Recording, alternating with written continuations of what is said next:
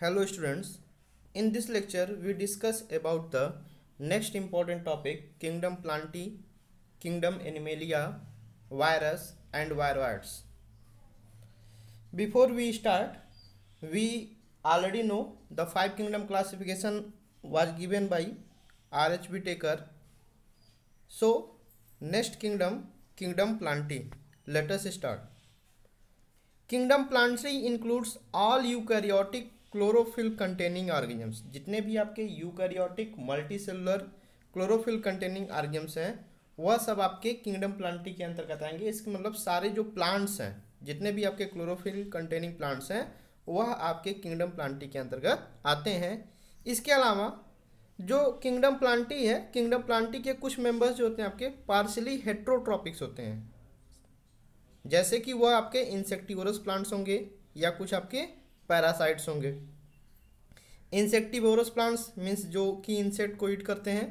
For example bladderwort Venus flytrap आपके insectivorous plants हैं। Parasitic plants में आपका कसकुटा है, ये आपका पैरासिटिक प्लांट्स है। जो भी प्लांट सेल्स होंगे, उन प्लांट सेल का जो स्ट्रक्चर होगा, आपका यूकैरियोटिक होगा और उसमें आपका एक क्लोरोप्लास्ट होगा और जो सेल होगी सेल की जो सेल वाल होगी वह बेसिकली आपकी सेलोज की बनी होती है। प्लांट्स के अंतर्गत आप देखेंगे तो टोटल आपके फाइव ग्रुप्स हैं। Algae bryophytes pteridophytes gymnosperms and angiosperms इन सारे प्लांट ग्रुप्स को हम अगले नेक्स्ट चैप्टर थ्री में इसको डिस्कस करेंगे। प्लांट की अगर हम लाइफ साइकिल की बात करें तो प्लांट की लाइफ साइकिल में आपके दो फ़ेज़ होते हैं। एक आपका डिप्लॉयड स्पोरोफिटिक फ़ेज़ होता है और एक आपका हेप्लॉयड गेमेटोफिटिक फ़ेज़ होता है। और ये आपके, इनकी लाइफ साइकिल में मतलब डिप्लॉयड फ़ेज़ आएँगे, फिर आपके हेप्लॉयड फ़ेज़ आएँगे, इस तरह से आपका अल्टरनेट होते रहेंगे, और यही आपका कहलाता है alternation of generation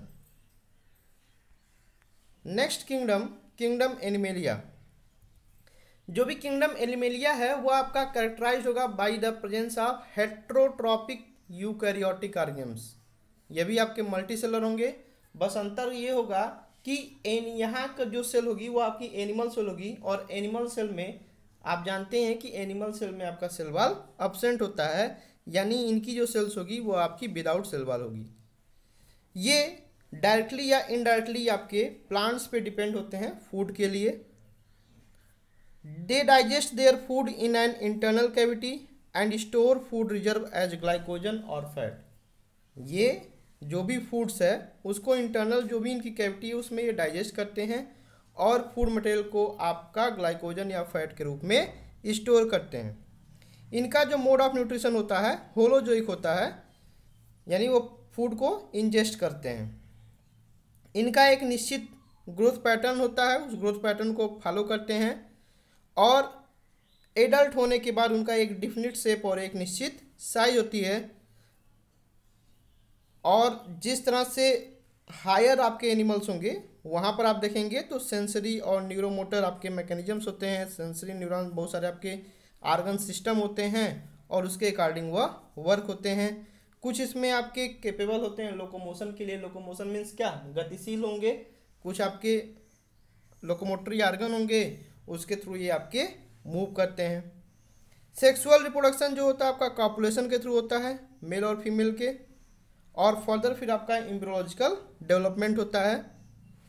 kingdom animalia को हम नेक्स्ट चैप्टर चैप्टर फोर में ब्रीफली इसको हम डिस्कस करेंगे।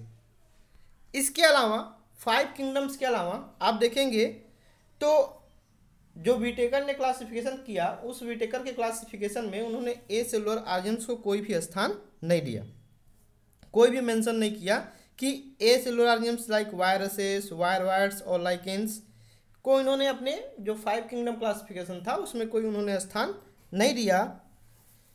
जो भी आप देखें, जो भी आप जो कुछ लोग आप देखते हैं कॉमन कोल्ड या फ्लू से आप सफ़र करते हैं, वह आपका जनरली आपका वायरस के ही थ्रू होता है। वायरसेस जो होते हैं, आपके नॉन सेलुलर होते हैं और उसमें आपका एक क्रिस्टलाइन स्ट्रक्चर होता है आउटसाइड द लिविंग सेल अगर हम वायरस की बात करें तो वायरस जो होता है that is the connecting link between living and non living things अगर वह बॉडी के बाहर है तो वह आपका नॉन लिविंग होगा जैसे ही बॉडी में वो एंटर करता है तो वो आपके, जो भी आपके डीएनए है, उस डीएनए से आपका रिप्लिकेट करके, फिर वह पूरे के पूरे मेटाबॉलिक एक्टिविटी को आपके सेल के कंट्रोल कर लेता है. इसलिए वायरस को हम बोलते हैं connecting link between non living and living things जो वायरस नेम है वायरस मीन्स होता है आपका वेनम या आपके कोई पॉइजनस फ्लूड सबसे पहले एक साइंटिस्ट हैं पास्चर लुइस पास्चर इन्होंने ये टर्म दिया था। इसके बाद आप कहते हैं डीजे इवानोवस्की उन्होंने कहा कि कुछ माइक्रोब्स जो होते हैं, वो आपके काजल आजम्स होते हैं, किसके? Mosaic disease of tobacco tobacco plants पे आपके डिज़ीज़ काज करते हैं। और वह डिज़ीज़ कराता है आपका मोजैक डिज़ीज़। उन्होंने देखा कि ये जो आपके माइक्रोब्स हैं, वह आपके बैक्टीरिया की कंपेरिजन में छोटे होते हैं और ये आपके जो भी बैक्टीरिया प्रूफ फिल्टर्स होता है, उसके थ्रू आपके पार कर जाते हैं। Later on M W Beijerinck demonstrate किया कि अगर हम किसी टोबैको इन्फेक्टेड प्लांट्स के एक्सट्रैक्ट को किसी हेल्दी प्लांट्स पे अगर इन्फेक्ट कराते हैं तो वह प्लांट्स भी आपका ऑलरेडी इन्फेक्ट हो जाएगा। Later on W M Stanley उन्होंने कहा कि virus could be crystallize and crystal consist large amount of proteins virus को हम क्रिस्टल के रूप में कन्वर्ट कर सकते हैं और वो क्रिस्टल में आप देखेंगे कि तो बहुत ज़्यादा आपके अमाउंट्स में प्रोटीन होते हैं। यानी वायरसेस जो होते हैं, आपके ऑब्लिगेट पैरासाइट्स होते हैं। Obligate parasite that is the true parasites ये आपके केवल लिविंग ऑर्गन्स के ही ऊपर आपके ग्रो करते हैं। लैब कंडीशन में हम इनको कल्चर नहीं करा सकते हैं। इनके अलावा प्रोटीन के अलावा आप देखेंगे तो वायरस में आपका जेनेटिक मटेरियल भी होता है। वह जेनेटिक मटेरियल आपका या तो डीएनए हो सकता है या आपका आरएनए होगा। किसी भी वायरस में आप देखेंगे तो दोनों नहीं होंगे। या तो आपका आरएनए ही होगा, या आपका डीएनए होगा।